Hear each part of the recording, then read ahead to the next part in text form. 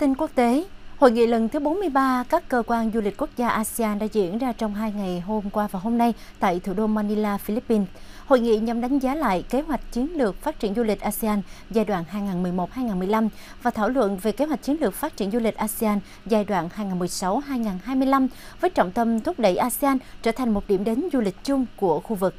Theo báo cáo tại hội nghị, có 79 trên tổng số 87 biện pháp đề ra trong kế hoạch chiến lược du lịch ASEAN 2011-2015 đã được thực hiện. Đáng chú ý trong kế hoạch chiến lược du lịch tiếp theo, ASEAN xác định sẽ tiếp tục làm việc với các tổ chức toàn cầu như Tổ chức Giáo dục, Khoa học và Văn hóa Liên Hợp Quốc UNESCO và Ngân hàng Phát triển Châu Á ADB nhằm phát triển du lịch di sản và du lịch dựa vào cộng đồng, phát triển các sản phẩm du lịch sức khỏe, giám sát và đánh giá các hoạt động du lịch liên quan đến biến đổi khí hậu, phát triển chương trình đào tạo cho các hãng lữ hành và điều hành tour du lịch.